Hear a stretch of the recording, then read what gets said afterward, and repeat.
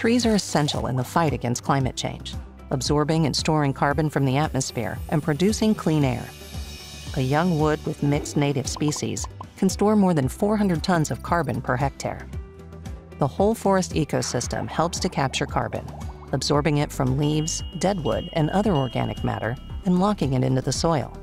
Trees are also good news for farmers' livelihoods, offering sustainable ways to diversify revenue and improve farm quality farmers who plant forests can tap into a new source of revenue, carbon credits. And trees on farms improve water management and soil quality. They protect crops against winds, storms, and floods and increase biodiversity. That's why Rabo Carbon Bank and Rabobank Brazil are working on a pilot project with farmers in Cerrado in Brazil to plant trees. With food and agriculture at the core of their business, they want to create a food system that meets the demand for affordable food whilst considering the producer's livelihoods and the planet. Farmers are planting a mixture of native species that will maximize benefits for the soil and biodiversity over the long term, as well as locking away carbon. Rabo Carbon Bank also unlocks carbon markets for farmers, generating profit and making their business more robust and sustainable.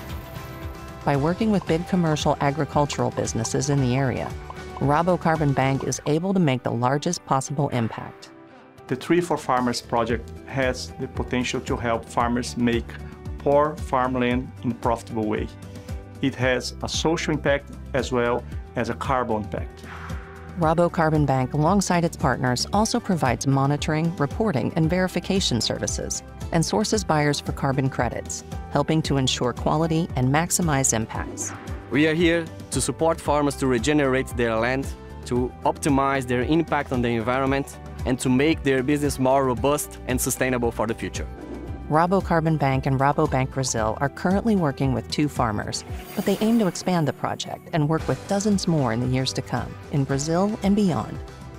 In the coming decade, around 500 million trees are estimated to be planted, sequestering over 80 million tons of CO2.